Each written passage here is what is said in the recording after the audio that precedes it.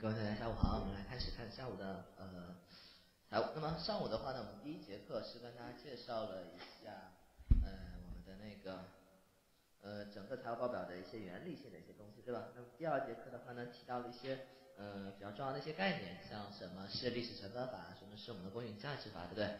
好，后面的话呢，最后跟大家讲了一个知识点，就是除了我们要看三大主体报表以外，我们是不是还要看一些其他的额外的附加信息啊？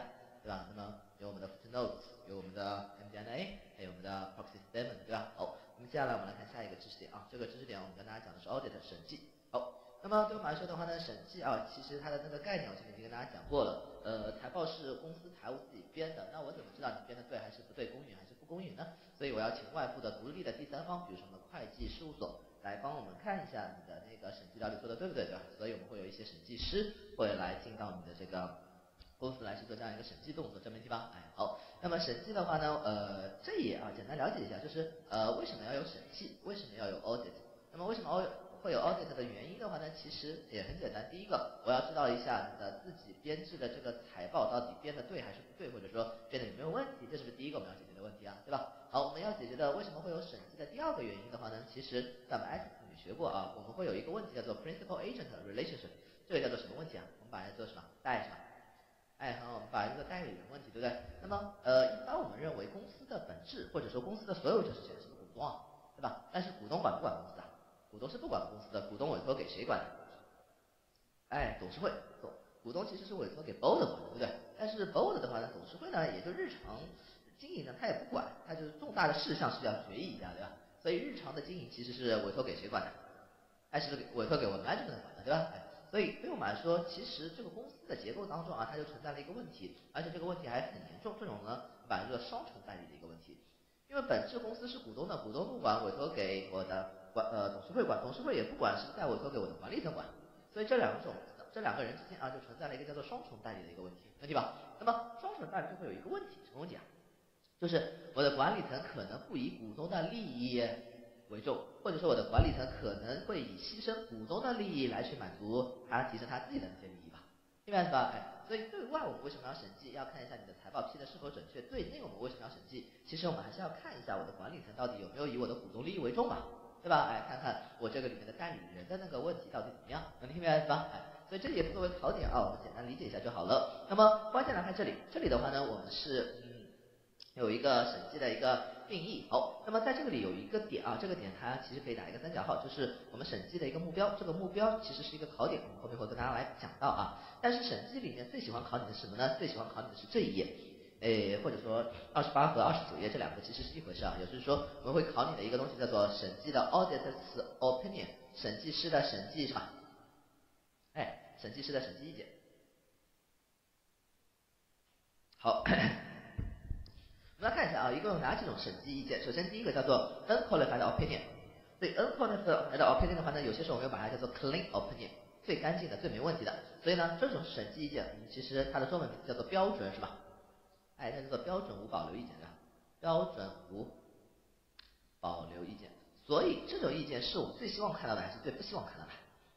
哎，最希望看到的。也就是说，我审计师就觉得你这个公司是不是没什么大问题啊？对吧？哎。没什么太大的一个问题，从会计准则的角度上来看，我认为你是 OK 的。这种我们出具的那个意见叫做标准无保留意见。注意啊，是 qualify 还是 unqualified？unqualified 啊，这是很多同学容易记错的，因为很多同学会记住，会记得 qualified 是有一个合格的意思 qualify 有一个合格的意思，他就会记得记记得 unqualified 就是不合格，不合格这个意见就不好，就是很多同学会这么去记啊，对吧？你不要这么去记啊，因为什么呢 qualify 除了有合格的意思以外，它还有一个意思叫做限制，明白吗？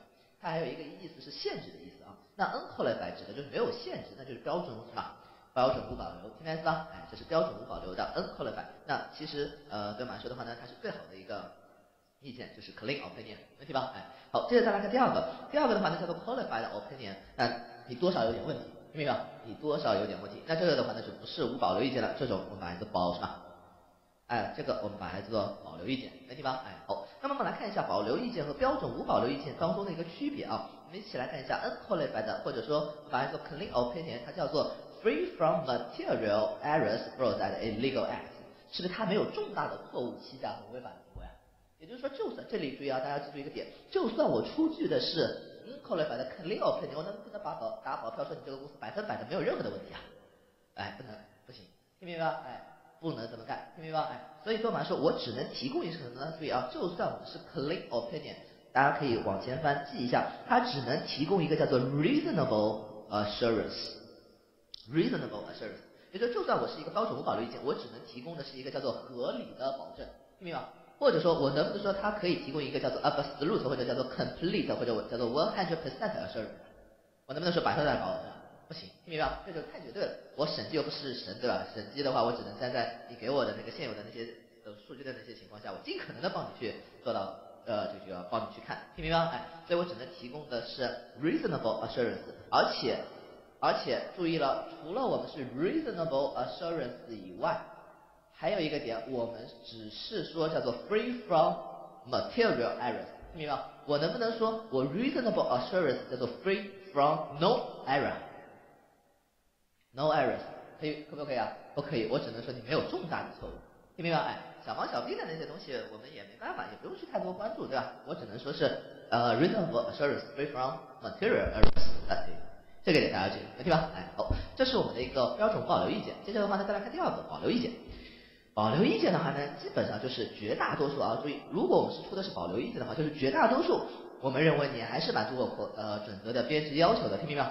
它只是有一些 exceptions，它只是比如说某一条或者某一个方面，它没有遵循我的准则的规定。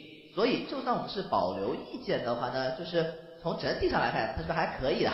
哎，从整体上来看，绝大多数都是满足的。除了比如说我存货可能管理的哪里不好，或者哪里存货的计量可能会有些问题，或者说我应收账款我哪里可能这个呃编制的哪里等等，只有某一些 exceptions。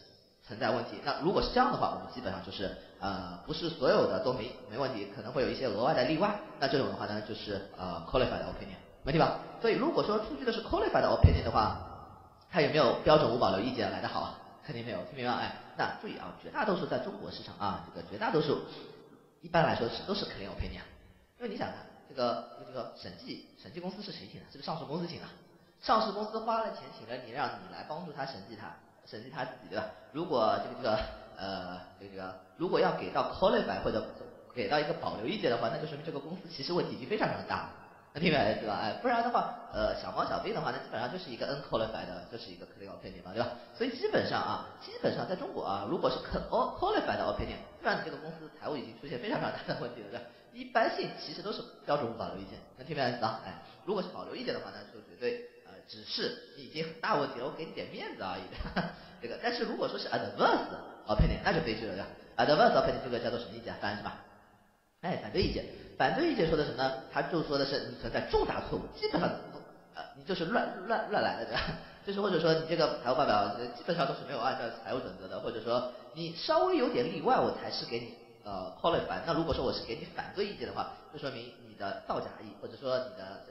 就是乱乱来了，对吧？所以你是存在一些这个重大的一些错误，它是不满足的会计准则的，没题吧？哎，好，也就是说这三个东西的严重性程度不满足条件的情况是不是越一个比一个恶劣，对吧？哎，好，接着再来看第四个，第四个叫做 disclaimer opinion，disclaimer of opinion 它指的就是什么呢？它指的叫做无法发表审计意见，无法发表审计意见，或者简单来说就是我审计公司无语，对吧？哎，这个我无语，你的这个报表。我没法看对？我没法跑，我无语对吧？这叫做无法发表审计意见。这代表什么意思呢？什么叫做我无语呢？比如说啊，你请了一个会计事务所来让他进行审计，那照道理你是不是要给他看会计凭证啊？你要给他看你的过去的那些会计的处理的那些原始凭证、你的交易记录、你的各种各样的报表等等等等，是不是他才能看着你的一条一条业务，他才能说，哎，看看你这个公司有没有问题啊？对吧？哎，那现在什么个时候可能会发生？嗯，就这个无法发表审计意见呢？第一个。你可能恶意阻拦，对吧？我说我要去上市公司的这个银行里面去进行一个资金的对账，你不告诉他我开户行是哪一个，对吧？或者说我不告诉你这个呃银行的那些对账单，什么东西我想要什么东西我都不给你，能理解吧？哎，那这样的话对我来说，你不给我底层的那些资料，我想审是不是我也没法审了，对吧？哎，那这种的话其实就是我无法发表审计意见的这种可能的一种情况，没题吧？哎，好。那么对我们来说啊，在我们这个里面的话呢，大家首先要知道的就是这几种不同的意见之间的区别。标准无保留意见，我只能是说 reasonable assurance，而且说的是没有什么错误啊，重大错误，不能百分百打保票，而且不能百分百打保票说没有任何的错误，听明白吗？哎，这是一个点。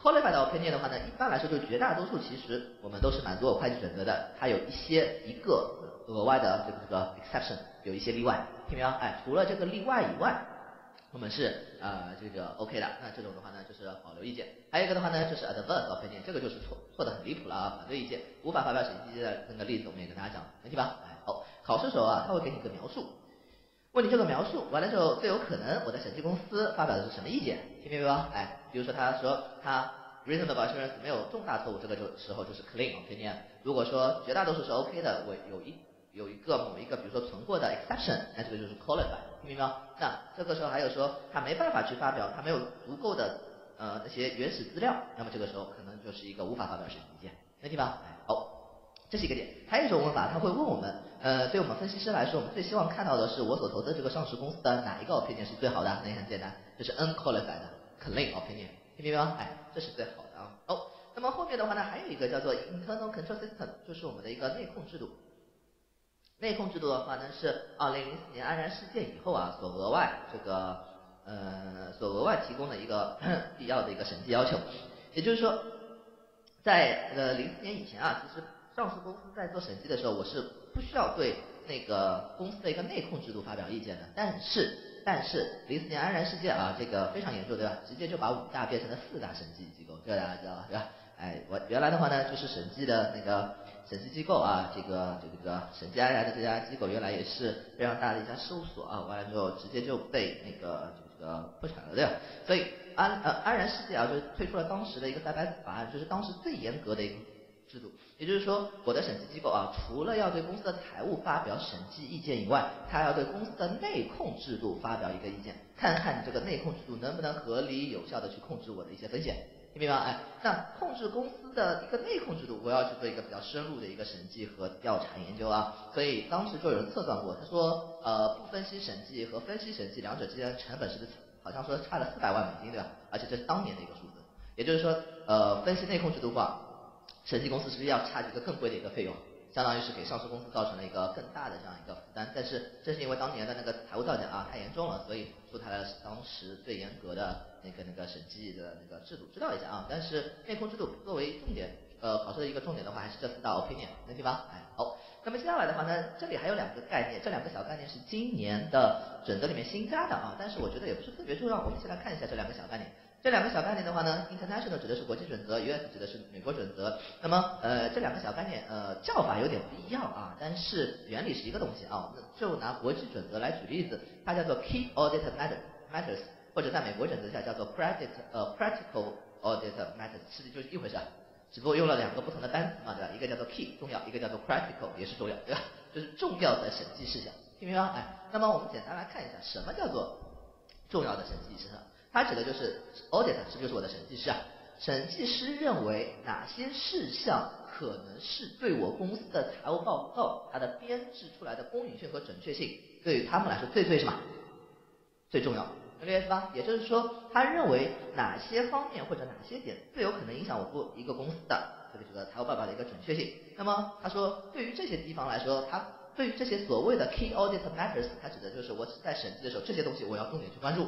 或者说这里的一些东西可能会存在一些比较高的一些什么 misstatement，是不是存在可能会存在一些比较高的一些呃这样的一个误差，对吧？或者说可能会严重的依赖管理层的 judgment，significant management judgment，也就是说这个东西不好判断，或者说非常强的依赖于人为的判断，听明白吗？哎，那他说这些东西的话呢，我就会列在我这个 key audit matters 里面。他就会告诉我们读审计报告的那些人，他说这些东西我看了，呃，虽然我可能感觉我没问题，但是我告诉你这些东西是最最关键的，你自己看的时候你也要注意一些，听明白吗？哎，那个同学说赵老师哪些东西可能会在这里的 key audit 所谓的 key audit matters 呢？很简单，比如说我们来举些例子啊，像像中国有些公司扇贝是不是经常跑啊对吧？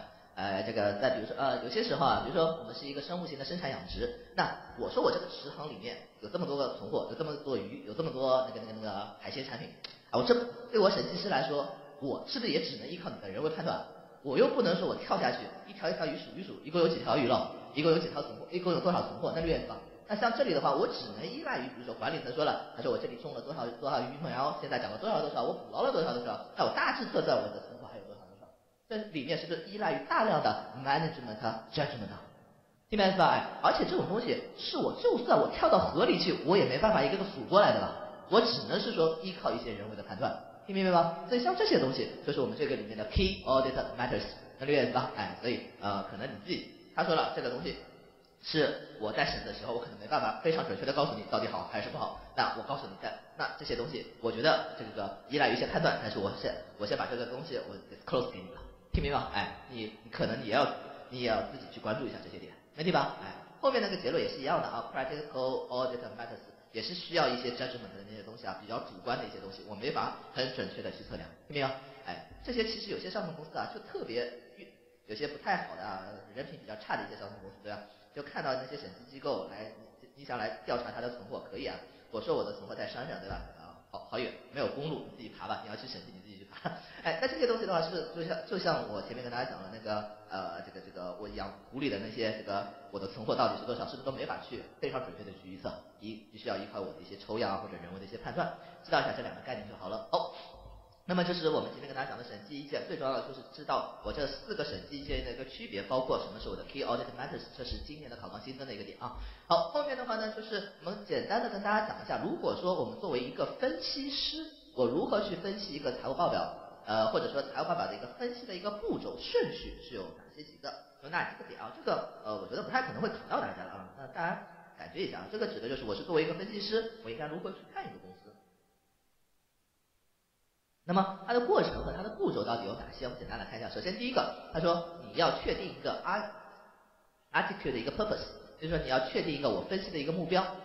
你的目标分析这个公司的财务目标是干嘛？呃，分析这个公司财务报表的最终的目的是干嘛？你是为了做投资啊，还是为了要不要借钱给你啊，还是为了做经营？听明白了吧？这第一个你要确定一个目标。好，有了这个目标以后的话呢，我们就要去 collect data，这是非常重要的一个，也就是我们要去收集什么？哎，我要去收集这个公司的数据。那么收集公司的数据可以通过哪些方面呢？第一个 financial data，这个公司的财务数据是不是它年报里面会披露啊？除了收集财务数据以外，我们可能还要搜集一些 discussion 数据。什么叫做 discussion 数据啊？这是我们的一些舆情数据，对吧？这是我们市场上的一些投资者啊，对这个公司，比如说。哎，古巴啊，或者其他地方的一些舆情，大家对你的观点是什么，对不对？哎，那么一个是你自己披露的，一个是人家说的，还有一个数据呢，你要自己去实地调研吧，就是你要自己去做一个实地的 visit。就比如说你是研究员，或者说你是一个个人投资者，你说我要投资你，我可以去你去找他们的投资者关系者啊，投资者关系部，哎，找到那些什么什么总秘，你说我来做调研，是不是这样一个过程，对吧？哎，那么这些都是我们收集数据的。一些如何去收集数据啊？那么有了这个数据以后，第三步我们就要干嘛？处理这些数据，没题吧？好，处理这个数据啊，有一个 output 这个点，大家可以稍微记一下。处理这个数据的话呢，有一个输出的结果，什么输出结果呢？我们把你的财务数据、调研数据，巴拉巴拉所有的东西都有了，然后呢，我经过一定的处理之后，我们就可以形成一个叫做 ratio and forecast，也就是我可以形成这个公司的具体的财务什么？哎，财务指标，指标是可以快速的。可以去了解一个公司到底干的怎么样的一个东西吧。那六月三，哎，那么后面我们专门会有下一周啊，专门会有一个章节来去跟大家讲各种各样的财务指标。好，那么有了指标之后的话呢，第四步我们再进行一个深入的一个分析。分析完了之后的话呢，在第四步这个里面我们就出来了一个 analytical results。或者是要说第四步和第五步其实是一回事了。那么我们有了这些指标之后，我们再进行一个深入的分析以后，我们就可以知道最终呢，我们对这个公司的一个 recommendation 是什么，对这个公司的 conclusion 是什么，到底我是应不应该投资你嘛？听没有？到也就是说，最终在这一步啊，我可能就可以知道你这个公司的一个最终评级是什么了，是买入评级啊，还是增持评级啊，还是中性评级啊，还是弱于大致评级啊，还是卖出评级？是不是大概就知道了？没地方。好，出了这个评级以后，我们是不是就不管了？不是啊，我们还会有一个动作叫做 follow up，什么意思啊？就是。基于比如说二零一八年，二零一八年年报我的那个数据，我可能给你一个评级，听明白吧？但是二零一八年年报可能是一个情况，但是的话呢，我二零一九年现在是不是有一季报、二季报和三季报了，对吧？我大概就可以看一下，呃，我前面比如说一八年给了你一个评级是买入，我再看一下我支持买入的那些逻辑，在一九年的 Q 一、Q 二、Q 三里面有没有发生改变嘛？如果没有发生改变，可能我给你的评级就是增持吧，当时买入现在增持，是不是这样一个东西啊？如果说当时支持你买入这个公司的一些核心逻辑、核心假设，或者最关键的一些发生了改变的话，我可能就要调减我这里的评级了吧？这个叫做我们的一个 follow up，不是我做完这个我就不管了，我是要持续的工作这个公司，听明白吗？哎，所以这个这几个步骤啊，就是作为我们作为一个分析师，我们去分析一个公司的话，大致的一些步骤，这没题吧？哎，简单了解一下啊。好，那么我们来看一下啊，这种呃这个这个题怎么出啊？呃，题的话呢，像这种像这种题的话呢，就是就我觉得啊，不是呃考到你的概率就不太大。他就问你上一步骤的结果是什么？上一步骤的输入是什么？他说 ratios。我的财务指标和财务分析是哪一步的 input？注意啊，他没有说是 output 吧？output 它是哪一步的 output？是我这个里面 process data 的一个什么 output？处理数据的一个结果吧？那它是哪一个的那个输入啊？哎，就是 analysis and interpret 那个 process data 的一个输入结果吧？没题吧？哎，这个就是考你这个我的输入是什么，输出什么啊？这种很无聊啊，我觉得知道一下，因为原版书会有这样的题啊。所以的话呢，我们就在放在放了一道题在这里，我觉得考到你的概率也不是特别大，好知道一下。那么这个知识点的话呢，核心关键还是那个审计的那个知识点，没题吧？好，那么接下来的话呢，我们要跟大家介绍一个概念，叫做 financial elements，financial statement elements。好，注意啊，在我们这个里面的话呢，注意在我们 F S 还记得这是什么准则？F S 国际准则吧？国际准则我们把它叫做会计的要素，一共有五大类啊。注意这个 elements 我们把它叫做会计。要素对，要素是什么东西呢？要素是一个更广义上的一个概念。那么对我们来说，在我们整个 FS 的情况下，我们一共有五大要素。第一个要素叫做 assets，是不是叫做资产啊。第二个叫做 liability，叫做所呃负债。第三个叫做 earnest equity，叫做所有者权益，又把它叫做剩余价值或者把它叫做净资产，还记得吧？还有一个要素叫做 revenue，还有一个要素叫做 expense，听明白吗？所以这个要素是偏广义的一个概念啊。跟 elements 相对应的还有一个概念叫做 account。这个叫做会计什么？哎，会计账户，或者说叫做会计什么科目？哎，会计科目和会计账户就是我会计要素的一个具体化，听明白吗？哎，会计要素和会计呃会计账户和会计科目，就是我会计要素的一个具体化。比如说，我们来举个例子，assets 是一个要素，它是广义的。那 assets 下面是不是有很多很多的会计科目或者会计账户啊？有些哪些啊？我们已经学过一些了。哎 cash，cash 就叫做会计账户，它是隶属于 asset 这个下面要素下面的一个账户，听明白没有？还有学过什么 account receivable，account receivable 是不是应收账款啊？还有什么 prepaid expense，prepaid expense 是不是预付费用啊？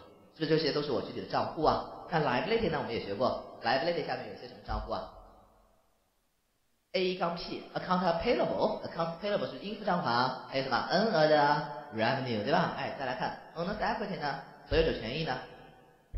我们学过很多。第一个 Return 啊，Earnings，还有一个 OLCI，还有一个我们也讲过是吗？很好，Owner's Contribution，这个叫做股东是吧？哎，股东出资，这些是都是我具体某一个要素下的具体账户啊，对吧？哎，收入也有很多收入，主营业务收入，其他业务收入还记得吧？成本我们有很多成本，有主营业务成本、生产成本、SG&A 销售管理及一般费用，我们后面一个会跟大家讲，没问题吧？哎，所以资产负债所有者权益、收入和费用，它是 elements 广义的，没问题吧？好，后面我们就要一个一个来去跟大家去介绍，大家可以来看在这里三十六页，assets 下面在这一页是 assets 下面的各种各样的账户啊。然后呢，三十七就是 liability 下面的各种各样的账户，后面一个一个来跟大家讲，没题吧？哎，好，那么在讲这些账户之前啊，有一个概念，我们先要跟大家讲一下。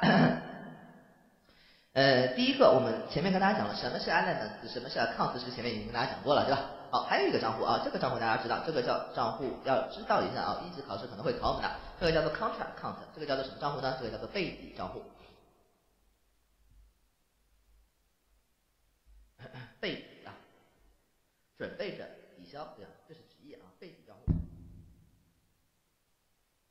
好，我们来看一下啊，备底账户什么意思呢？你可以记一下啊，备底账户的意思指的就是这个账户是用来干嘛呢？是用来抵减资产的。这个账户的目的是用来抵减我资产的金额的，抵减我资产金额的一个账户，我们就把它叫做备底账户。抵减我资产的账账上资产的一个金额啊。好，那么我们前面上午其实已经讲过一个账户是属于我的备抵账户了，它抵减的就是我这个资产在我账上的账面的一个价值，不知道大家还没有印象？哎，很好，第一个我们的备抵账户就叫做 accumulated depreciation 这个叫做什么折旧啊？累累计折旧。好，回忆一下我们上午跟大家讲的累计折旧跟隶属于我的历史成本法吧，对吧？历史成本计叫怎么计的？买了一个设备一百万，复习一下啊。买了一个设备一百万，我可以用十年怎么计账？刚刚买来的时候有一个设备，这个设备在我账上记多少钱啊？哎，在我账上记一百万，第一年的累计折旧是多少？哎，是不是十万，对吧？哎，所以是一百万减去十万，所以第一年年末是九十万。那么第一年是一百万的购买成本，历史成本，第二年是也是一百万，第二年的累计折旧就变成了多少？哎，二十万，所以第二年年末是不是又变成了八十万，对吧？好，那么我们前面跟大家讲过啊，这一百万买来的金额是多少？是不变的，这一百万叫做什么成本啊？历史成本，还有意见吗？这里的九十万和这里的八十万是叫做什么成本？Net book value 或者叫做 carry value，这个叫做账面是吧？哎，好，这个叫做账面净值。我们可以非常明显的发现，哪一个东西就是体现了我资产的价值啊？Accumulated depreciation 嘛。累积的就是就是抵减了我这个设备在我账上的资产的这个价值啊，没问题。所以第一个我们的一个这个背景账户的话呢，就是我们的一个呃呃就这个累积折旧。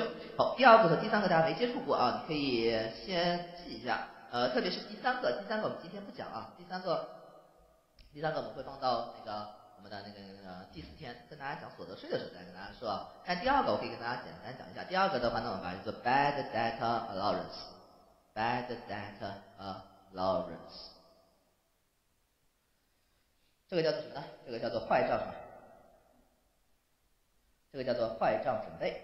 哦，你拍脑袋感觉一下啊，这个坏账准备，你猜一下啊，抵减的是哪一个资产的金额？废纸账户是不是抵减的都是资产的金额？哎，很好，Bad debt allowance，你可以记一下。哎，这里的累计这个是不是抵减的就是我固定资产啊？对吧？哎，那这里的 bad debt allowance 坏账准备抵减的是谁的金额呢？哪一个资产的金额呢？叫做 account 是吧？哎，很好，是抵减的是 account receivable 的一个金额。好，举个例子啊，比如说一个公司卖了一批货，价值一百万，货已发，钱没有收到，所以我们前面跟大家讲过。呃，货已发，钱没有收到，我满足收入确认的条件是不是货物交割服务提供，跟该货物和服务有关的权利义务已经发生转移。假设当时我收回款项可以确信的话，是不是就可以在我资产负债表里面确认一百万的 account 是吧？确认一百万的 account receivable，没题吧？好，可能啊，当时我觉得收回款项可以确信的，你这个公司没啥问题。但是我们知道收销期是不是也有一定的时间啊？比如说有短一点的一个月，长一点的三个月、六个月是都有啊。假设三个月以后这个公司发生了致命的财务问题，那我原来觉得这一百万里面跟这个公司有关的这个钱，我是肯定是可以收回来的，或者大概率可以收回来。但是我现在觉得这一百万的应收账款里面，假设应收账款是一百万，可能是跟我各种各样其他的所有很多公司所有都有钱都有这个这个钱嘛，对吧？好，那么在这个里面，我觉得某一家公司可能已经陷入财务困境了，我觉得收回来的概率是不是不太大？所以这个时候收不回来了，是不是就已经不再满足收回款项可以确信这个条件了？所以我们要把它作为一个坏账准备，把它给抵减掉，听明白没有？所以在我们这个里面，假设啊，这这一百万里面，我重新测算了一下，我算出来大概一百万里面有十万块钱我收不回来了，那怎么办？我就要计提一个叫做 bad 什么？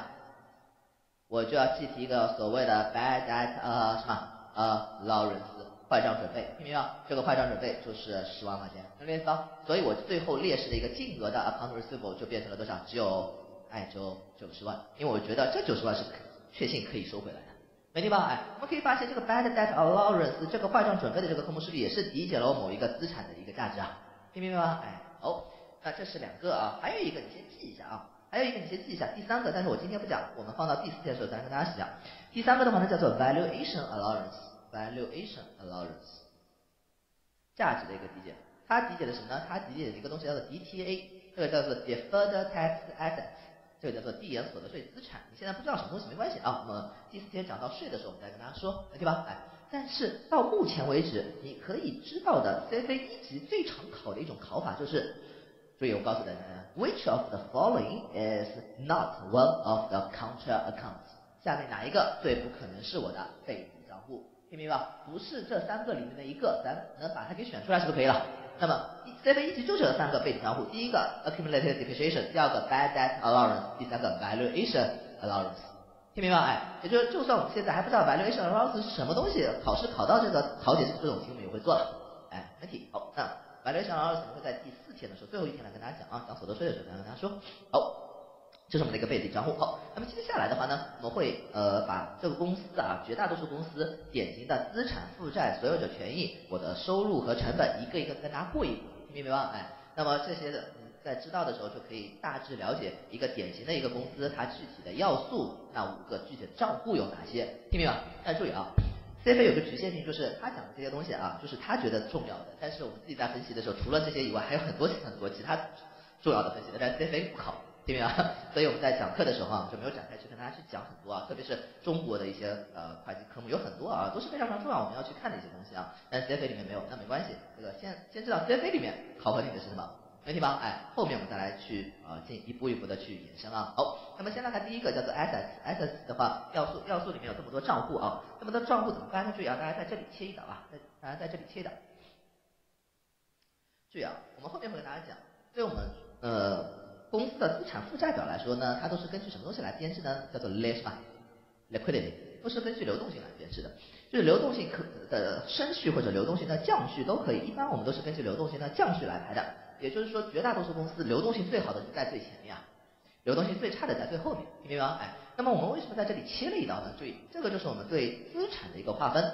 这一刀上面的，我们认为流动性相对来说都比较不错，流动性都比较好的资产，听明白吗？所以我们把这些资产给它取了一个名字，叫做什么资产呢？叫做 current current assets，current assets。对，它的中文名字叫做什么资产？叫做流是吧？哎，很好，叫做流动资产。好，注意，我们给流动资产下一个定义啊。当然，流动资产的定义并不是千篇一律保持不变的，但是最这个这个最典型的一个流动资产和非流动资产的一个划分，就是我要看这个资产能不能一年之内变现。一年之内，如果这个资产可以变现的话，或者一年之内这个资产可以变成现金的话，我认为你的流动性就还不错。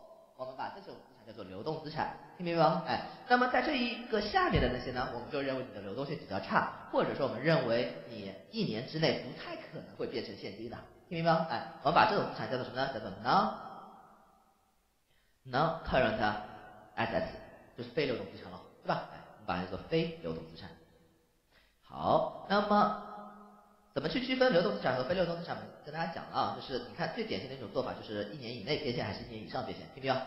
但是有些公司并不一定啊，比如说房地产公司，房地产公司可能它划分流动资产和非流动资产，因为房地产它整个周期经营周期是不是比较长啊，所以它可能就是一个经营周期里面能变现的，它叫做流动资产。但是这就是比较特殊了啊，你不用太纠结。但绝大多数公司就是一年之内变现的流动资产，超过一年以上的，使用一年以上的非流动资产，没问题吧？哎。好，我们接下来再一个一个账户带大家看一下啊。这几个账户其实我们已经很熟了。第一个叫做 cash and cash equivalents，它的全名叫做现金及现金是吧？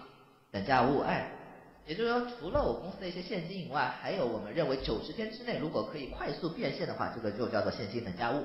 比如说买了短期国库券，流动性是不是很好的？九十天之内肯定是可以变现的。或者说买了类似于余额宝的那些东西，虽然不是现金，但是我认为等价于现金，所以我们在记账的时候就记成现金及现金等价物，这没题吧？所以现金和现金及现金等价物是不是一个公司现流动性最好的东西啊？本身就是现金，可以快速变现，没问题吧？哎，好，第二个的话呢叫做 account receivable，这个我们熟了，account receivable 这个东西叫做什么？应什么？应收账款，它的备底账户就是我前面跟大家讲的 bad debt allowance，bad debt allowance，这没问题吧？所以 account receivable A 一到 R 是不是？哎，为什么应收账款是流动性比较好的？比存货的流动性肯定好，因为存货是生产出来了，卖没卖掉？没卖掉。应收账款是生产出来了，我是不是已经卖掉了？所以应收账款我只要把钱收回来是不是可以了？所以存货虽然也是流动资产，但是你看它排在我的应收账款下面，为什么？因为存货我先要把它给卖了，才能把钱收回来，能理解吧？哎，所以所以虽然都是我们认为一年之内可能会变现，所以你会，但是你会发现存货是不是排在我应收账款下面？没问题。好，第四个，第四个叫做 financial assets，这个叫做金融资产。注意啊，金融资产是我们今年 IFRS 的考 IFRS 准则改了啊，准则改了，其实准则早改了啊，照道理去年 CFA 的教材就应该改了，但是 CFA 每次都比较磨叽对吧？去年都没改，今年改了，但是今年改的还有点改的不太一样，没关系啊，讲到时候再跟大家说啊。Anyway，我们来看一下老考纲的一个东西，呃，是国际准则改了，美国准则并没有改。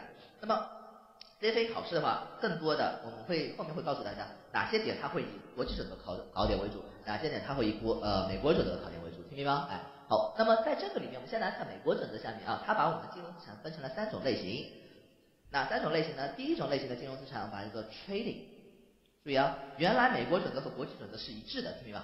现在呢，呃，国际准则今年的这个这个考纲啊，它呃根据国际准则改了一下，它的名字都改掉了啊。那但是原理是一样的。我讲到明天我们会跟大家讲金融资产，讲到的时候跟大家说，先来看美国准则下，第一种金融资产把它叫做交什么？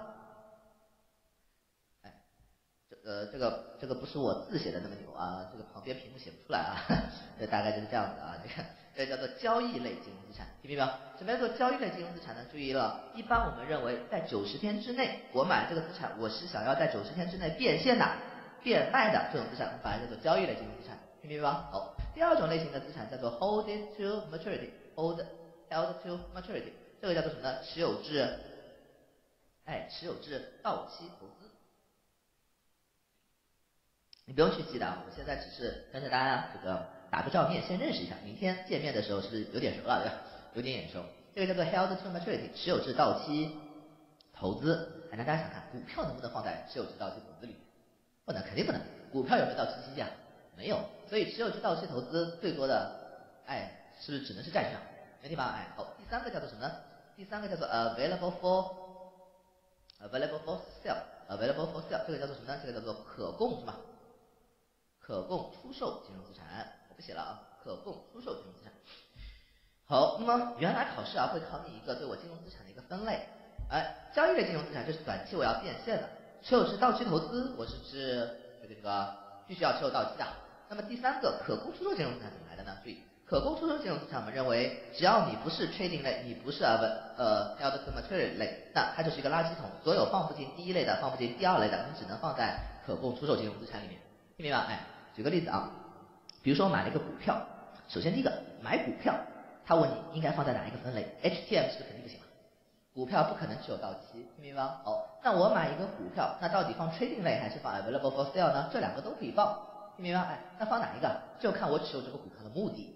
比如说我持有这个股票是为了短期的变，就短期的投机，三个月之内我会把它给卖掉的，那这个我就应该放哪里啊？trading 类，听明白？那如果持有这只股票，我觉得。我相对来说偏长期的一个投资，比如说我打算持有一年，打算持有两年，反正超过九十天，那这个时候我就应该把它放在哪里啊？Available for sale，听明白吗？哎，那如果说我买了一个债券，投资了一个债券，这个债券五年，我把它打算持有至到期的，那我就应该把它放在哪里啊？我打算持有五年，是不是持有至到期啊？是不是我就应该把它放在 held to maturity 里面啊，对吧？好，我买了一个五年期的债券，我打算两个月之内就把它给变卖了。获得，哎，这个时候我仍然是可以把它放在 trading 里面，听明白？哎，我买了一个五年期的债券，我打算只持有两年啊。五年期的债券，我只打算持有两年，交易类能不能放啊？不能，三个月之内的，有没有打算持有到期啊？没有，所以不能放第一个，不能放第二个，只能放 available for，这样大概的分类思路就是这种。听明白吗？哎，知道一下啊。呃，明天学到的时候再来跟大家说。所以，对我们说，金融资产虽然我们在这里画在的是 current assets 流动资产，但是我们会发现，根据我金融资产的分类不同，它是不是可能呃这个这个它的流动性是不是也是有好有坏的？没题吧？哎，知道一下啊。第五个我们已经学过了，叫做 prepaid expense。虽然是 expense，但是它是一个 assets 还是 liability 啊？哎，虽然它是一个 expense，但是一个但是它是一个 assets，它是一个什么预？付账款钱付了，服务还没享受，是不是我的一个权利啊？所以我们课上跟大家举的这个例子是不是宽带服务费的那个例子啊？对吧？哎，所以现在好像大家就应该比较熟了，对吧？好，这也是为什么我一上来是要跟大家介绍一下，不然没有第一节课，我直接干巴巴的跟你讲什么是预付账款，什么是什么应收账款，听得累也累，对吧？好，接下来看下面啊，下面一个第一个非常重要的一个东西叫做 property plant and equipment，注意它有个简写啊，叫做 PP 是吧？P P M E，P P M E，这个叫做 Property, Plant and Equipment，它的学名叫做机器、厂房和设备。机器、厂房与设备，大家想看，一个公司的机器、厂房与设备叫做 PP&E，是不是一个公司最典型的非流动资产？一个公司的机器、厂房与设备，我是一年之内用完变现的，还是可能要用很多年的？是不是可能要用很多年，对吧？超过一年以上，一年之内不会变现的，是不是把它叫做 PP&E 啊？没题，好。呃，第二个的话呢，叫做 investment in affiliates，这个叫做联营企业的投资，有重大影响的联营企业的投资。嗯，那么在这个里面啊，这个在我们这里的话呢在一级不考你啊，但是在二级的话，我们会涉及到公司间投资，它就会考你这些东西，明白吗？哎，那么什么叫做联营企业有重大影响呢？比如说我们的持股比例，大概说一下啊，我们的持股比例大概在百分之二十到百分之五十左右，这种呢，这种的话呢，我们把它叫做联营企业有重大施加重大影响，听明白吗？那么百分之二十以下，我们认为没有什么重大影响的，那么怎么办呢？我们就把它算在我的金融资产里面，可能是 trading，可能是 available for sale，听明白吗？哎，那如果说介于百分之二十到百分之五十之间呢，可以施加重大影响。那么比如说我可以在董事会派驻我的一个董事，这个董事就是我派过去的，是不是我对你的这个公司决策可以实现重大影响？这种叫做 affiliate investment in affiliate 啊，这个的话呢，你在二级就会学啊，或者大家如果学过 CPA 的话，会有一个叫做长期股权投资，听过？长期股权投资，哎，没听过也没关系啊，反正这些是我们二级的东西了。但是 anyway，比如说啊，我来举一个例子，像呃像腾讯啊，他买了是不是很多买了很多公司啊？如果只买个百分之一、百分之二、百分之五的，没有重大影响的，可能就算我的金融资产，听明白吗？但是如果说我买了一个公司，买了百分之二十以上，或者说小米买了什么华米百分之二十以上的股份，那这个就可以叫做施加重大影响，叫做联营企业，听明白？那同学说，姜老师，那如果超过五十呢？超过五十就不叫之类。哎，只要超过五十，是不是我就可以控制你了？我就可以控制你、控股你了。这个叫做 subsidiary，听明白吧？这个叫做 subsidiary，这个叫做 subsidiary。我们把它叫做，这是我可以控制的，叫做子什么？哎，子公司了。当然，呃，到底是金融资产，是联营企业，还是子公司，都不是我们一级的点，都是我们二级才会跟大家讲的，没听吧？所以我们跟大家讲了啊，这个 CFA 一级，绝大多数八九十的东西你都可以看明白了，但是涉及到公司间投资啊。我们的那些财务的那些东西，你要学到二级才能看明白，能听吧？哎，好，所以在一级你大概知道一下有这样一个东西叫做联营企业的投资或者叫做长期股权投资，足够了，那也不会考你其他的东西，听明白吗？哎，好，接着再来看下面一个叫做 investment property，对，这个叫做投资性什么？这叫做投资性，投资性房地产，投资性房地产。什么叫做投资性房地产？它有个限制，它是房地产，但是它有个限制条件，它是用于什么目的啊？哎，投资目的啊。所以跟我来说，如果我买了一个房地产，这个房子啊是我拿来做机器厂房用的，能不能叫投资性房地产？一定不能。那投资性的只有两个目的，第一个为了获得租金收入，第二个为了获得房子的资本利得，哎，资本升值。这种我买了一个房子，不是以日常经营为目的的，完全是为了收取租金和资本利得的，我们才把它这个投资性房地产，听明白吗？好，有一点你要先记一下啊，投资性房地产是我们也是第四篇的一个考点，但注意，投资性房地产只有国际准则才有，投资性房地产只有国际准则才有，美国准则是没有的啊。那有同学说，季老师，美国准则在哪里啊？我用于投资目的的房地产，他也把它算在 PPN 啊，是吧？他也把它算在机器厂房与设备里面。听明白吗？但国际准则呢？它呢？如果是你自己的厂房是用来设备、是用来经营的，那它是 T P I 的 E。但是你这个厂房、你这个房子哈是用来投资性的，那就它专门有一个科目叫做投资性房地产。听明白吗？哎，所以这个就是就是我们后面前面跟大家讲到的美国准则和国际准则的一些区别啊。这也是我们后面在讲课的时候会跟大家讲的啊。是区别就是考试重点，听明白吗？所以如果大家考 C P A 的话，中国 C P A 我前面跟大家讲过，它抄的是国际准则还是美国准则？国际准则，所以你考中国的 CPA 里面有一个章节就叫做投资性房地产，听明白吗？如果你考的是 AI CPA，就是考的是美国的 CPA 的话，那很开心，就没有一个条件叫做投资性房地产，因为它的准则里面就没有这个东西，听明白吗？哎，好，那么接着再来看下面一个东西，叫做 intangible assets，注意这个我们也接触过，这叫做什么？无什么？哎，这个叫做无形资产。什么叫做无形资产呢？首先是资产，就是可以给我企业带来好处的一个东西，但是它是没有具体的物理形态的。那么，比如说有些什么东西啊？很多啊，比如说我们的 patents，这个这什么东西啊？专是吧？专利，比如说我们的 trademark，这什么东西啊？trademark 是不是商标啊？还有呢，比如说 license，license 是什么东西啊？特许经营权等等等等，这些这都是看不见摸不着的，没有固定的物理形态。但是这些东西我有了这些东西，会不会给我企业带来好处啊？会，这些资产就把它叫做无形资产。没题吧？哎，那前面跟大家讲过啊，如果无形资产有固定的使用年限的话，固定资产有形资产叫折旧，无形资产叫摊销，叫 amortization，这个概念是不是跟大家讲过？哦，那么后面的其他这些啊，讲到具体的知识点的时候再跟大家说。好，那么 assets 我们就跟大家讲完了，接着的话呢，我们再来看 liability。那么 liability 一样啊，那么大家在这里画一条线，在这里画一条线。这条线上方呢就是一年之内我要还给人家钱的，所以这种 liability 我们就把它取了个名字，叫做什么 liability 啊？哎，current liability 就叫做流动负债。流动负债跟我流动资产一样的道理，流动资产是一年之内可以变成钱，流动负债就是一年之内我要还给人家，听明白吗？哎，那么下面这两个的话呢，就把它叫做什么？non 什么？non-current as 呃，non-current liability 是不是非流动资产？呃呃，非流动负债对吧？这个就是我们不需要一年之内还掉的啊。好，么我们来看一下啊，负债这是一个要素，它具体的账户有哪些啊？第一个我们已经知道了，第一个叫做 account payable 这什么东西啊？应什么？哎，应付账款已经很熟了，对吧？应付账款就是货已经拿到了，钱还没付，是不是我给我的供应商有一个应付账款，对吧？好，那么后面再来看第二个，第二个有一个这种东西叫做 notes payable，这个见过吧？哎，很好，应付票据，这哥们儿啊，我们把它叫做应付票据。好，首先第一个我想跟大家讲的是，通过这两个东西的什么什么的 payable。你就有点感觉了，什么什么东西的 payable 是不是就是应付什么什么东西啊？一般来说是不是都是我的负债？所以，com payable 叫做应付账款，no payable 叫做应付票据。那么再来几个 interest payable 这什么东西啊？interest payable 什么东西啊？应付利息。dividend payable 呢？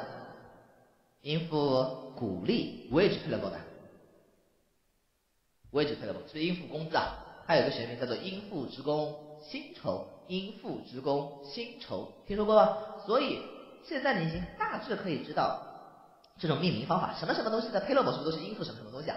哎，一般来说这些是不是都是属于我的负债？那六月八，哎，只是 CFA 里面没有出现什么应付利息、应付股利，它出现的比较少。但是你要知道有这些东西，听明白吗？哎，那么应付票据那就是 note payable，应付账款就是 account payable，它怎么命名的，是不是都跟大家讲了？什么什么东西的 payable 就是应付什么什么东西，听明白吗？哎，好。那么接着我们再来跟大家看一下啊，那请问一下呢，应付账款和应付票据，感觉一下最大的区别是？哪一个是有利息的？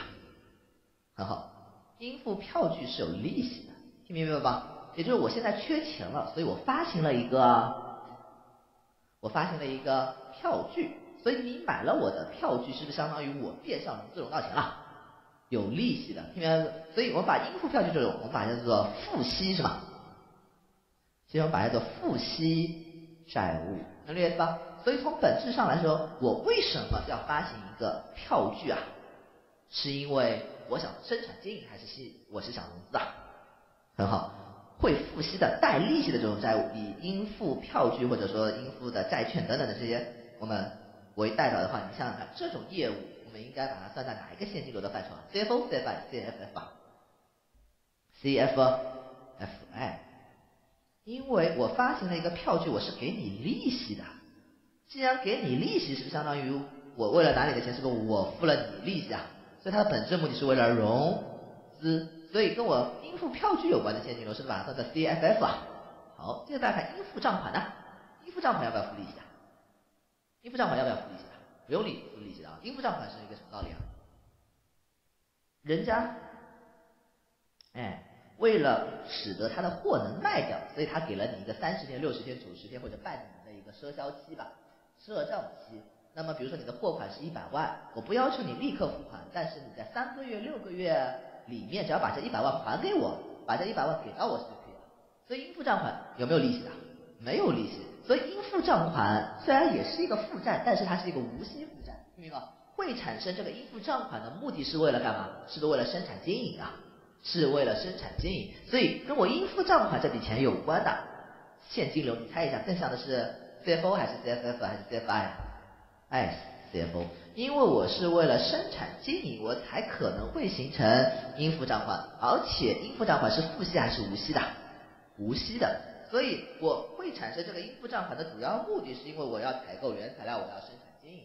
所以虽然都是负债，但是一个是应付账款，一个是应付票据。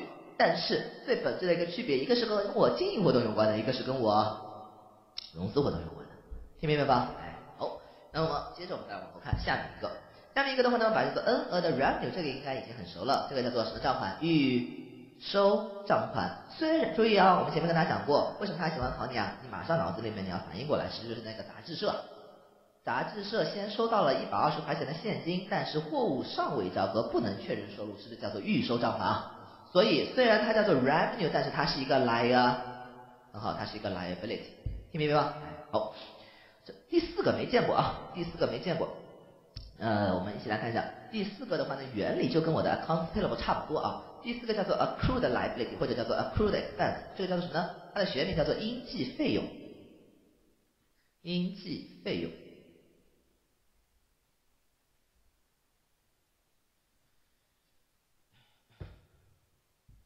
accrued expense，什么叫做应计费用呢？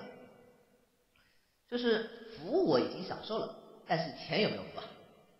钱还没有付，也就是说应该付还没付的钱，这个叫做应计费用。你在旁边可以记一个，呃，这个最典型的一个代表，你可以旁边记一下，叫做应交的水电煤费，应交的水电煤费。这是最典型的一个应计费用，应交的水电煤费。哎，大家想看，水费、电费、煤气费，我是怎么交钱的？这个月我是水电、通煤，我是不是都用完了？用完了以后，我用已经用完了，服务已经享受了，但是钱我也没有付啊，钱没有付，是不是下个月是不是才还上个月的钱啊？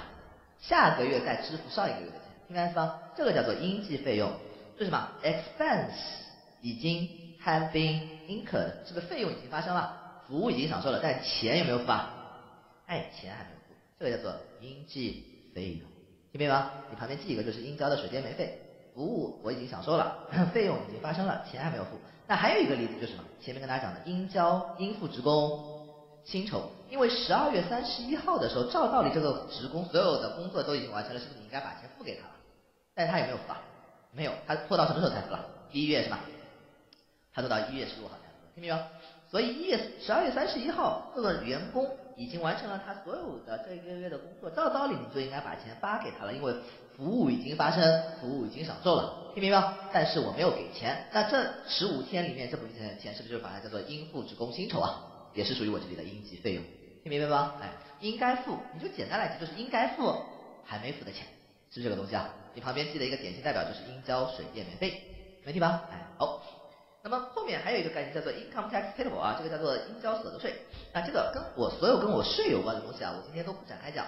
税本身就是一个比较复杂的一个东西啊，所有跟税有关的东西，我们通通放在第四节再来跟大家讲，没题吧？哎，好。后面一个就是我们的一个长期负债，这个长期负债很简单，比如说我发行了一个债券，五年期啊，债券的本金是一百万，所以说嘛说这一百万我融资融到的钱，这个我发行了一个五年期的，也是就是 long term debt 啊？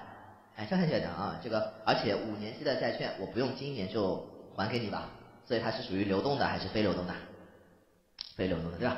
好，后面还有一个 D deferred tax liability 啊，这个叫做什么呢？这个叫做递延所得税负债，也是跟税有关。所以所有跟税有关的东西，我们今天先不讲，没问题吧？哎，因为讲了可能你也听不明白啊，所以我们在第四天的时候会专门来去跟大家讲税的这些东西。所以看到税的这些东西，我们就自动跳过了，没问题吧？好，这是我们的第二个要素 liability。好，接着再看第三个要素。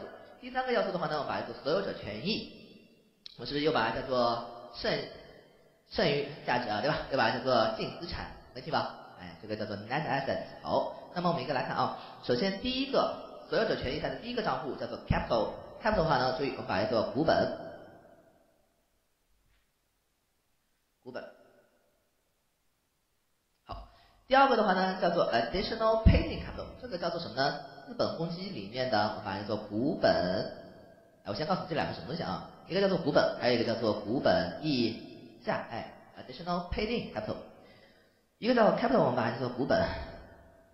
对于股份制公司啊，非股份制公司的话呢，就是所谓的什么实收资本没关系，我们 CFA 研究上市公司都是股本，对吧？好，还有一个的话呢叫做股本溢价，注意，股本加上我的股本溢价，这一加二加在一起是什么呢？一加二加在一起是我们前面跟大家提到一个概念，叫做 owner's contribution，owner's contribution。一加二加在一起才是我的股东是吧？哎，一加二加在一起才是我的股东出资，哎，好，怎么理解呢？举个例子啊，所以在中国，在中国绝大多数上市公司的股本都是一块钱，听明白？绝大多数公司的股本都是一块钱，所以比如说啊，我们经常听说过什么老板要给我们股份，如果给的是干股的话，我们指的就是一块钱一股卖给你，听没有？这个叫做干股，就是没有任何的溢价的，把你当自己人，是不是？刚刚开始的时候给你这个，这种叫做干股，一块钱一股的，听明白？但是公司发展到一定的程度以后，我们吸引外部投资者，我再把股票卖给别人的话，哎，我一块钱一股再卖给人，别人我干不干？我不干，听明白吗？哎，当年我是一块钱一股，这个这个。呃，干股搞的，但是随着我公司的发展，我可能后面我的股票就是十块钱、二十块钱一股，是不是都有可能？能理解吧？哎，所以超过我股本或者超过股票价值的那些钱，我是把它叫做股资本公积或者把它叫做股本是吧？股本溢价，听明白吗？哎，举个例子，比如说我有一个上市公司，我 IPO 了，IPO 听说过吗？Initial Public Offering，这个叫做首次公开是吧？哎好，这个叫做首次公开募股发行，没听吧？好，假设一个公司的发行价是二十块钱的话，什么意思啊？我股民呃股民去买它的话，是二十块钱一股去买这个公司的股票，没听吧？哎，那这个公司记账怎么记啊？因为它的股本只有多少钱？一块钱，所以它这个公司在记账的时候，capital 它的股本记的是一块，听明白吗？那但是我股我其他的人我是花多少钱去买了你的？二十块钱去买你的，听明白吧？所以这里的 APIC，Additional Paid Capital，就是我的股本溢价就多少钱一股啊？哎，很好，这是十九块一股，听明白吗？那么我们把股本加上我的股本溢价这两个加在一起，是不是才是我股东出资二十块？因为对我股东来说，我实实在在是掏了多少钱去买票？二十块，听明白是吧？哎，所以股本加我的股本溢价才叫做呃，Owner's Contribution，叫做股东出资，没题？哎，好，那么注意啊。呃，绝大多数上市公司的话呢，中国上市公司啊，都是一块钱的股本，美国不一定啊，美国很奇怪的啊，它的股本什么一块、一毛、一分都有的，听明白？呃，中国才是一块钱一股啊，而且中国有一个特例，有一个公司叫做紫金矿业，它在 A H 同时上市的，但对只有这一家公司啊，现在我不知道有没有新的啊，但是当时是只有这一家公司，它的股本是多少钱呢？它的股本是一毛钱，唯一的例外，它的股本是一毛钱，叫做紫金矿业。所以啊，当时零四年啊一四年这个。呃，是一波大牛市啊，对吧？牛市的时候就会有一个效应，什么效应？就是要把十块钱以下的那些低价股，是不是通通把它给消灭掉了，对吧？好，当时就有个同学，他发了一个微信跟我说，他说教授，你看啊，其他什么创业板的乱七八糟股，它都涨到两百块钱一股了，对吧？两三百一股很正常啊。他说，我现在发现一个绝对低估的股票，你赶紧买。然后我说，哦，什么股票？他说紫金矿业，对吧？好，我看了一下紫金矿业多少钱呢？当时是四块钱一股。他说，你看太便宜了。这个人家都涨涨到飞飞到天上去了，两百块钱一股，对吧？他才四块钱，啊，我觉得这个公司也还不错，赶紧买对吧？哎，好注意了，这个时候啊，这个你要仔细，你要小心一些，因为绝大多数其他公司的股票股本是不是一块钱啊？所以一块钱对应的正常的价格，所以绝大其他的股票十块也好，二十块也好，它对应的股本是不是就是一块钱？但是紫金矿业它的股本是多少钱？一毛钱，所以一毛钱它对应四块钱的股票的价格的话，相当于如果我的股本是一块钱的话，它对应的价格是多少钱啊？四十块了，跟他说的什么十块钱以下绝对不是一回事儿，能理解吧？哎，这个就是我股本的面值不同所造成的这个股价的差异，听明白？哎，这个这个要稍微知道一下啊。但是安内伟拿我的股本加上我的股本溢价叫做股东出资，这个点大家要知道，能听吧？哎，好，后面接着第三个，第三个叫做 return on earning，这很很熟了啊，不多说了。留存收益，留存收益里面钱是不是就是我利润表里面每年的未分配的那些净利润，对吧？哎，所以呃把它攒在我的留存收益里面啊。好。第四个注意了，第四个是一个重点，你给我打两个五角星。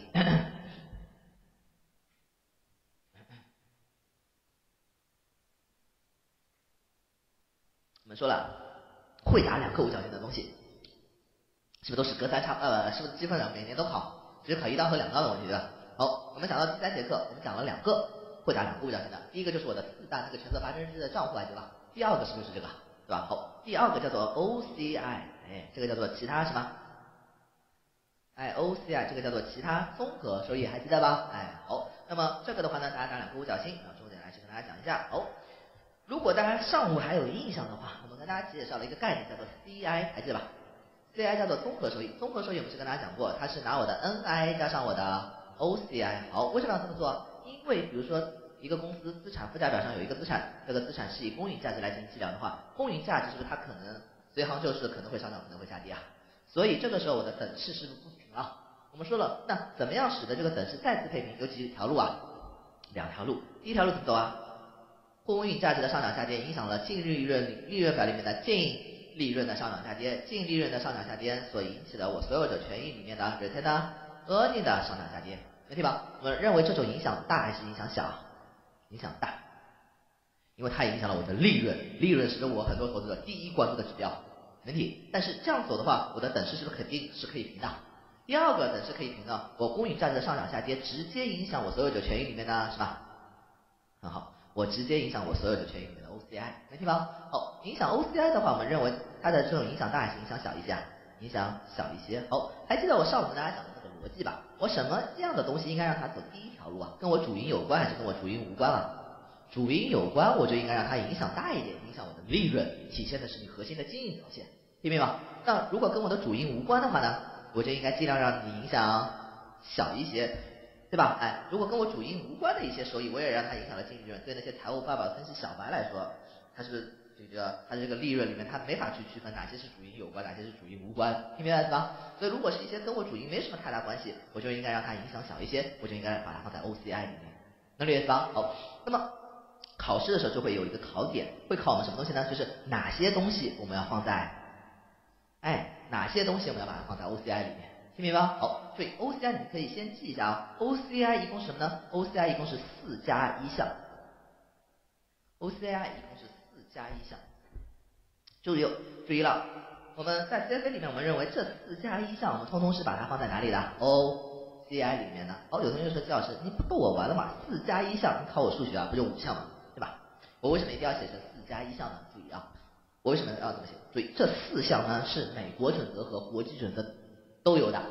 这四项是美国准则和国际准则都有的，听明白吧？我们写成了四。那加一这一项呢？注意啊，我先今天先不讲加一这一项是哪一项，我们后面讲到时候再跟大家说。但是你先记住了，加一这一项是美呃是国际准则特有的一个，是只有国际准则才有的这一项，美国准则没有，所以我没有。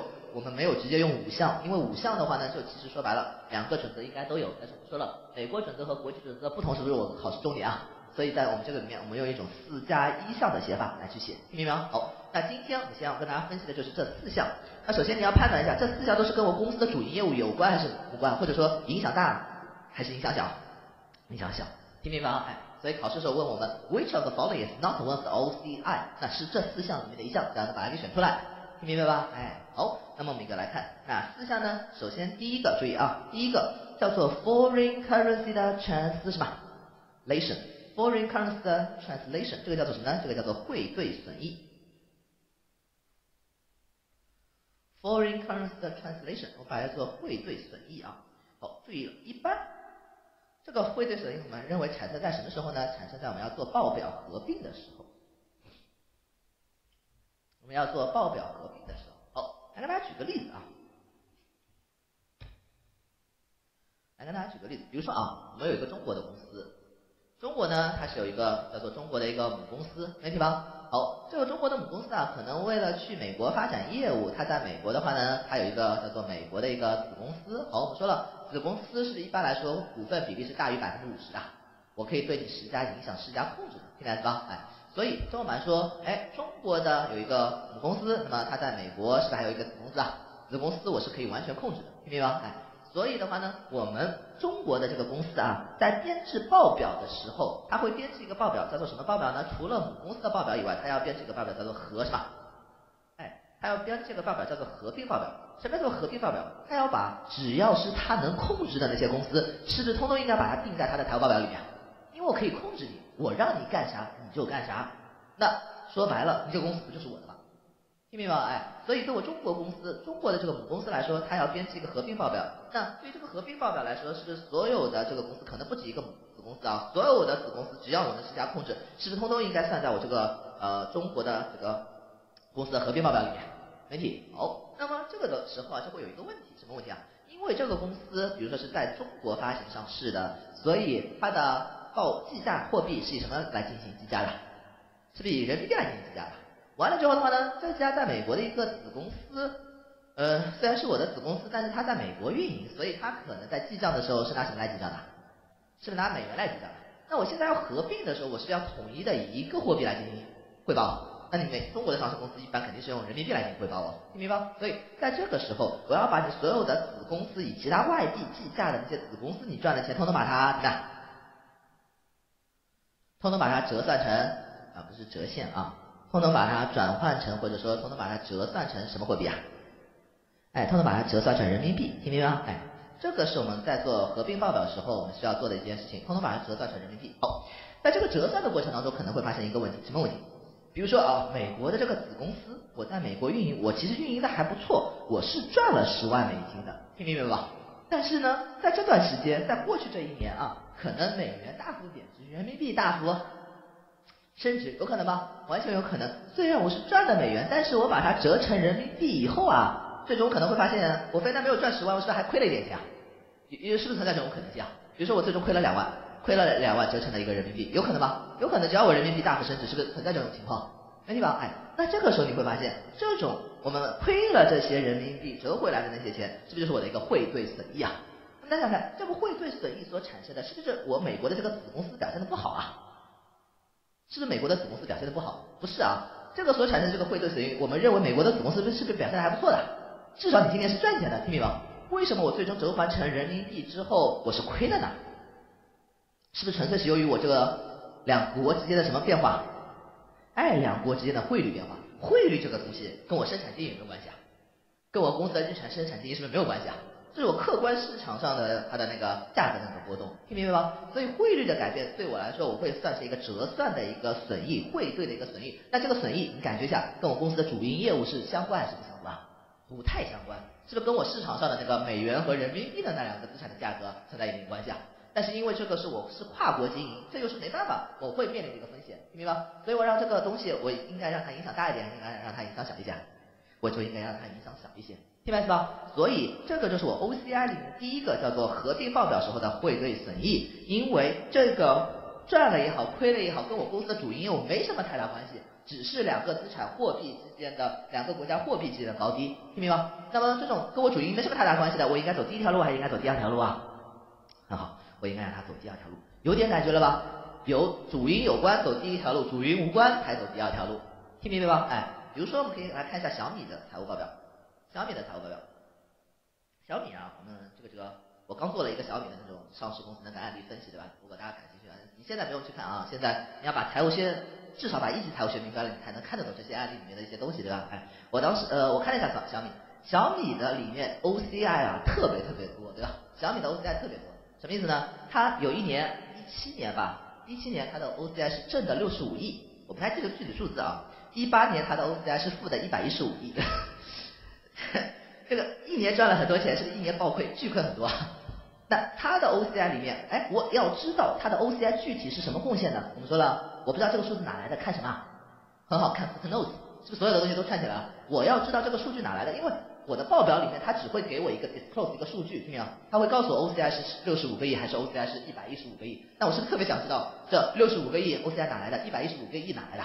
那我去看什么东西？对这个数据的补充说明，去看什么是不是 notes，你就去看它的附注，听没有？它附注里面明确说了，我这个 OCI 百分之九十九都是什么贡献的？汇兑损益贡献的，都是由它的汇兑损益贡献的，是不是就是我这里的四加一项里面的第一项？为什么小米会存在这么高的一个 OCI？因为我们知道小米的主营业务是手机啊，手机它的核心的一个是不是就是芯片啊？小米的芯片是不是都是采购的高通啊？所以它要去向高通去买它的芯片嘛？所以小米会去问高通买它的那个芯片，那高通是不是美国的公司啊？所以我支付的一定是，我是不是支付的一定是美元啊？所以我会形成很大量的美元的什么账款？是不是我会形成很大量的一个美元的应付账款？能理解吧？我会形成很多美元的那些应付账款。那比如说啊，如果一七年为什么会产生正的那些啊？因为我在合并报表的时候，是不是我要把美元并成我的人民币啊？如果在一七年的时候，人民币比如说大幅升值和大幅贬值的话，那比如说啊，在一七年的时候，美元大幅贬值，那这样子的话，我相当于我支付给高通的那些钱，是不是相当于少了？能理解吧？是不是就可能会产生变和，产生我产生我的一个汇兑的损益和汇兑的损失啊？媒体，所以。在这个里面，为什么形成这么高的那些这个其他综合收益，是不是跟小米的它是跨国采购，是不是有一个非常大的一个关系啊？对吧？知道一下啊，这个就是，诶，这是第一个点，对我们来说的一个汇兑损益。好，接着再来看第二个，第二个产生 OCI 里面的一个叫做什么呢？叫做 pension，pension。好，pension 什么东西啊？我们把它做羊是吧？哎，pension 我们把这个养老金。好，那注意啊，pension 这个东西啊，我们要先来讲一讲啊，呃，因为 pension 其实我们在第四天的时候还会来去跟大家讲，但是现在这里啊，我们先来跟大家讲一下 pension。pension 的话呢，我们把这个养老金在全球范围里面，养老金一共有两种养老金，两种 pension，哪两种呢？第一种 pension 我们把它叫做 DB plan，DB plan，DB plan 的全称叫做 defined defined benefits，defined benefits，这个叫做什么呢？这个叫做确定收益型，确定。你先别管什么这什么东西啊，我后面会一个个来解释啊。这个叫做确定收益型的 pension，这个叫做 DB plan。好，第二个 pension 的话呢，叫做 DC plan，DC plan 的话呢叫做 defined，哎，defined contribution，这个叫做什么呢？这个叫做确定贡献性。这两个有什么区别？我们在第四天的时候再来跟大家讲啊。我今天先简单跟大家展开讲一讲啊。首先第一个你要掌握的是会产生我 OCI 的 pension 只只能是 DB 还是 DC 啊？只能是 DB，听没有？只有 DB 会产生啊，会产生 OCI，只有 DB 才会产生我的 OCI，没听吧？哎，所以注意啊，会产生 OCI 的那几项啊，是一个单词都不能错的，听明白？一个单词都不能错。如果他说我有一个 DC 的 pension，他说产生了 OCI，这就不是 OCI，因为 DC 不会产生 OCI 的，听明白吗？哎，好，那么所以考试的时候你先要掌握的就是会产生 OCI 的 pension 是 DB 啊。那么接着我们来跟大家分析一下，到底 DB 和 DC 有什么区别？什么叫确定贡献型呢？我们先来看确定贡献型啊。确定贡献型就是最简单的一个例子，就是咱的社保。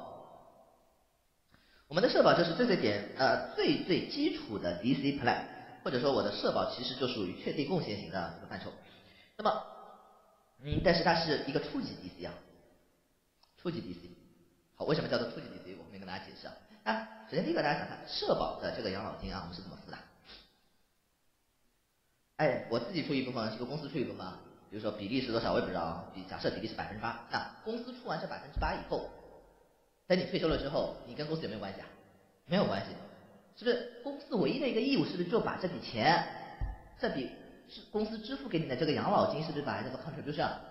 这个 contribution 就是百分之八，公司唯一的义务是不是只要支付给你这个百分之八就好了？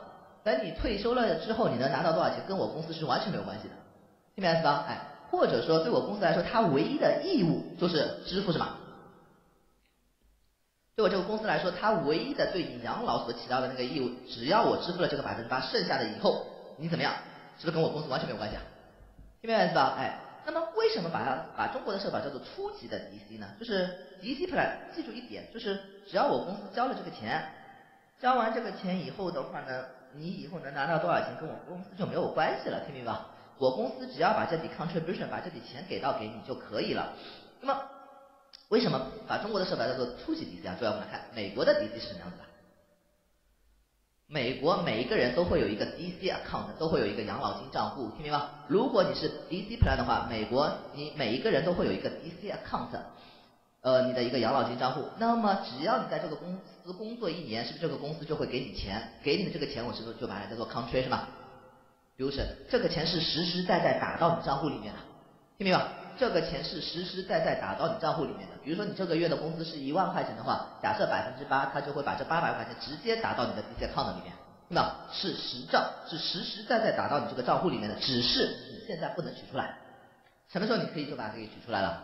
等我退休的时候我就可以用了，我就可以把它给取出来了，听明白吗？所以美国的 DC 才叫做 DC，它是把这个百分之八的这个钱我。公司的这笔 contribution 是直接打到咱的账上的，你是可以每个月看得到你这个账还有多少钱的，每你每个月增长了多少，明白吗？哎，而且 DC account 里面，注意啊，这个钱是真真正正在你的账户里面的，虽然你不能取出来，但是你可以自己什么？很好，你可以自己投资的。你的雇主会提供给你一个 list，这个 list 里面就是各种各样的基金，你可以自己选，我 DC account 里面的这些钱，我到底是买基金 A 还是买基金 B，还是？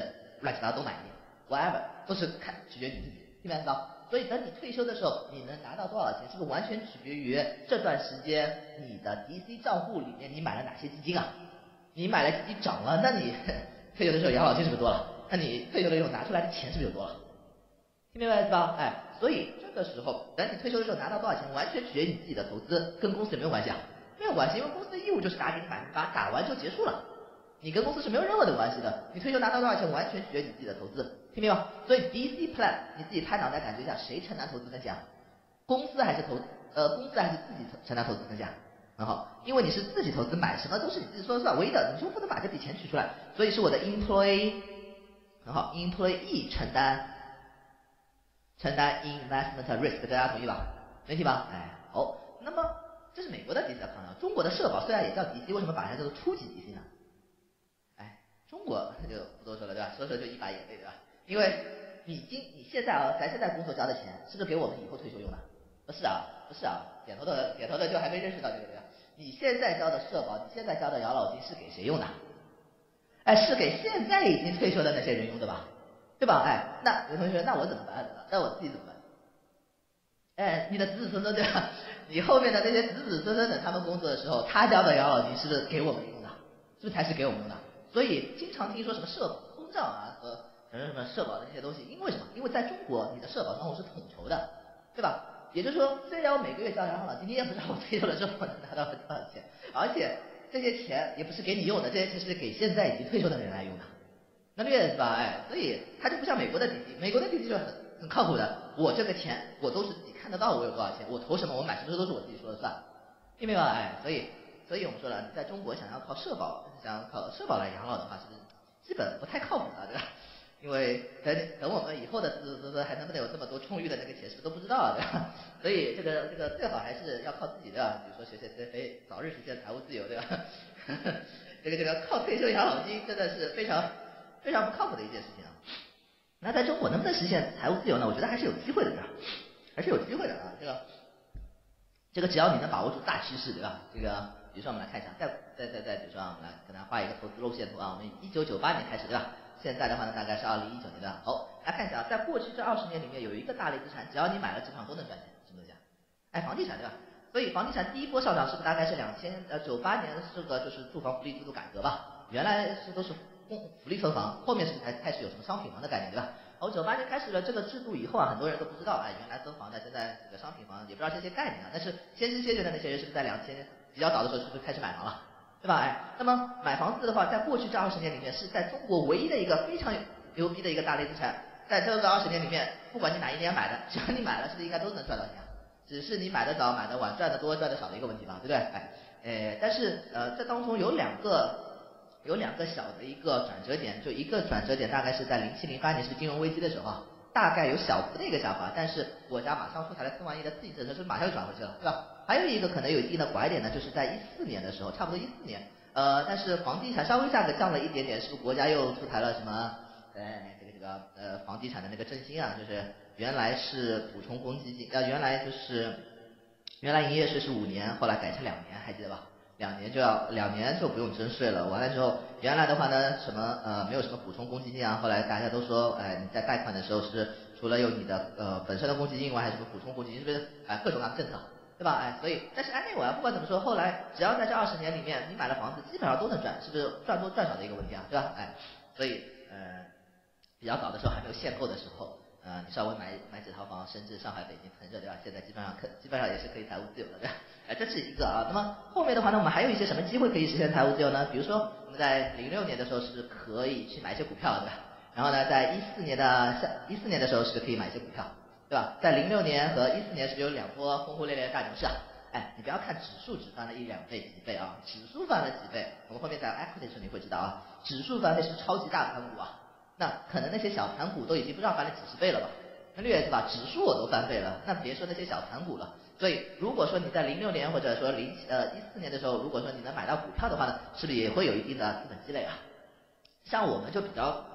还算混的还可以的原因是，就是像零六年、一四年的那些，但是我一四年的收益率已经一塌糊涂了，就 就一四年已经开始来京城讲课了，对吧？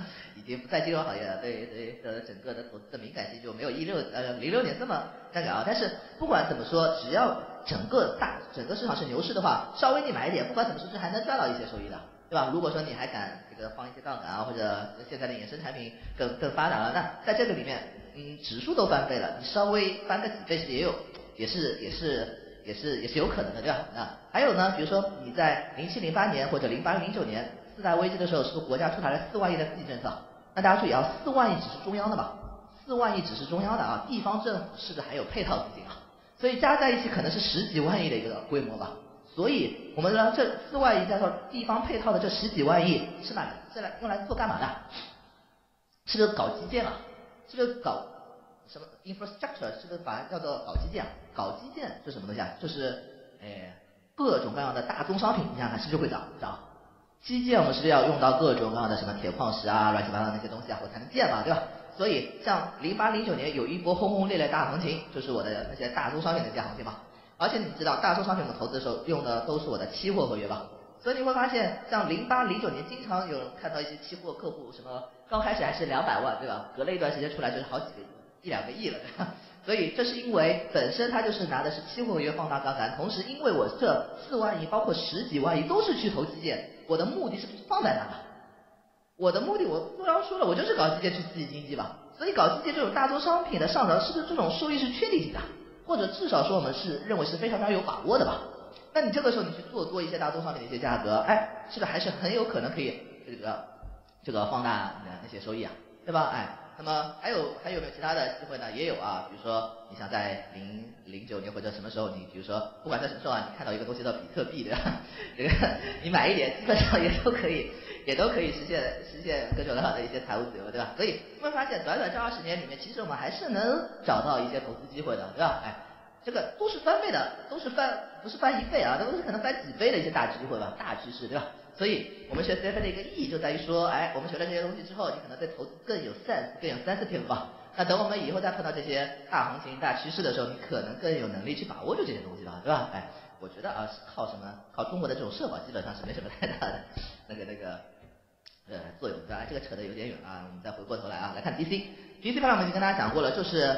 钱给到你，自己承担风险，听明白吗？好，我们接着再来看另外一种养老金，这个叫做 DB Plan，这个叫做确定收益型。好，我们来看一下啊，确定收益型的这种养老金是怎么做的呢？注意啊，这个东西就相对靠谱一些了。他是这么说的啊，他说我公司承诺，公司做一个什么承诺呢？只要你在我公司做，只要你在我这个公司啊，每多工作一年，每多工作一年。我就会给你一个什么呢？我就会给你一个，比如说你退休前工资的，我就会多给你退休前工资的，比如说百分之一，或者说你好一点百分之二，不一定啊，不同的公司不一样，听没有？这个叫做 DB Plan 的典型的类型。他说，只要你在我这里多工作一年，我就承诺你在我，在你退休的时候，我就会给你退休前工资的百分之一或者百分之二，听明白？好的公司百分之二，差的公司百分之一。那么，假如说哦，你在我这个公司没换过公司，你在我这个公司工作了四十年以后，那么对于我们来说，你就可以拿到，假设这个公司是比较好的一个公司，福利制度比较好，百分之二的话，那么等我们退休的时候，我公司承诺给你，你每年可以拿到的钱，就是你退休前公司的工，退休前工资的百分之多少？哎，退休前工资的百分之八十，听明白吗？哎，这是上市公司，这是这个公司对吧？承是吧？承诺给你的，能理解吧？所以公司发放的养老金，上市公司发放的养老金啊，我们就给它取了一个名字，上市公司发放的养老金，就把它叫做我能拿到的收益，是不是把它叫做 benefit 啊？所以为什么它叫做 defined benefit 啊？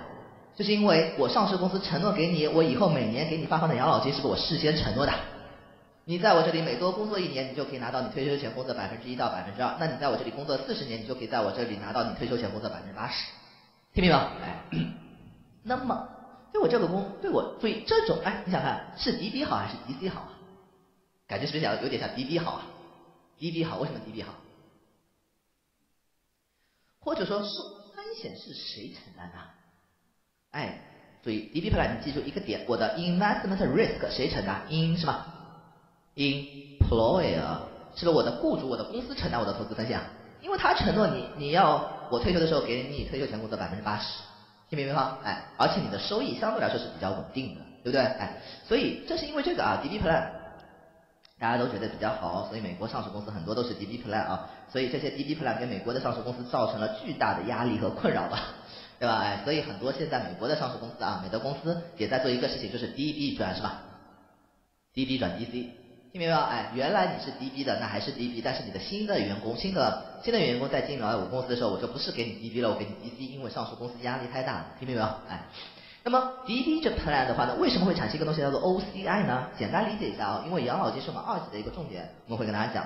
那么大家会发现，你退休前能拿到多少工资，是不是我要基于一个假设，或者说我要基于一个预测？我要预测什么东西啊？我要预测的东西有很多。第一个，我是不是要预测一下你退休前的工资是多少？那你退休前的工资可能是一百万，可能是十万，是都有可能啊。能理解吧？哎，所以对我们来说，你我要预测一下我们的你这个退休前的，你具体这个退休前的这个工资到底是多少？可能高一点，可能低一点。我影响我退休前的工资可能有很多，比如说我整个国家的经济增长率吧，经济增长的越快，可能我工资增长速度越快，你的退休前工资是不是就越高啊？我将来给你的钱是不是越多啊？还有可能会受到我整个宏观经济的影响，比如说通胀率等等等等，是不是会影响这个东西啊？所以我退休前的工资的话，我可能会高一点，可能会可能会低一点。我是不是要做这样一个精算，或者说要做这样一个假设？听明白？哎，那预测多了一点，那么我退休前工资多了，我给你的钱就多。那我预测了工退休前工资低一点的话，我将来给你的钱就少了，我的费用各方面是不是就少了？明白吧？那么这个时候我们就会产生一个精算假设的 gain and loss。这种 gain and loss 并不是真实的 gain and loss。是我基于未来的一个叫做精算是吧？